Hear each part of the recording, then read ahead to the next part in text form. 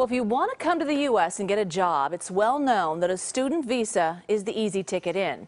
Several California colleges have been caught abusing the system. Now, KPIX5 has learned Homeland Security wants to shut another one down. It's a Bay Area school that our Devin Fehely investigated a year ago. This is what we saw in an undercover visit to International Technological University in 2015. Deserted hallways and half-empty classrooms, even though 2,700 students were enrolled. Fast forward to 2016, and things at the San Jose College look pretty much the same. But ITU's president, Dr. Gregory O'Brien, says he has made big changes since our last visit. This is a, an RFID reading uh, attendance mechanism he says attendance is now closely monitored to make sure that students are really studying.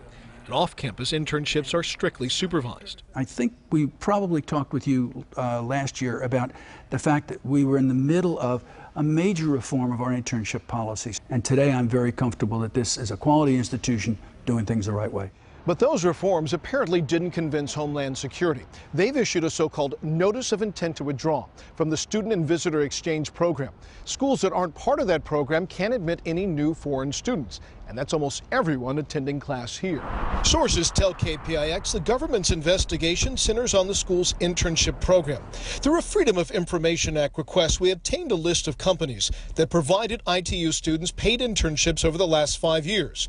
Turns out most of them are placement agencies like Betasoft Systems. Close to 400 students from ITU took internships with the company. It's so unethical. It's wrong. Sabine Sadiq was not an ITU student, but says she signed up for a six-week training course in 2014.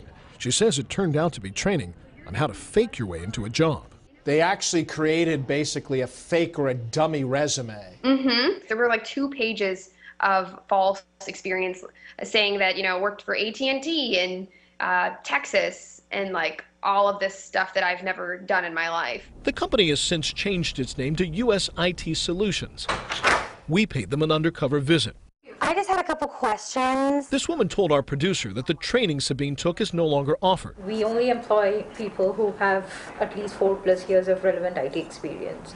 She said that foreign students are welcome and can be fast-tracked into the workforce. We can sponsor the rich not a problem. That's very problematic. Jessica Vaughn is with the Center for Immigration Studies. If their employer is listed as a placement agency, then the government has no way to keep track of uh, if they're working at all or if they've disappeared. From a national security standpoint, why is it important to make sure that these are in fact legitimate students? Student visas are issued for a much longer period of time than other kinds of visas like business or tourist visas. So they're really coveted by terrorist organizations in particular. Back at ITU, Dr. O'Brien says Despite the school's past problems, he remains convinced that its current reforms will satisfy government regulators. I can't tell you that ITU was, was always doing everything the right way. Since 2015, when I came, I believe we are very, very, uh, in very, very good shape. In San Jose, Devin Fehely,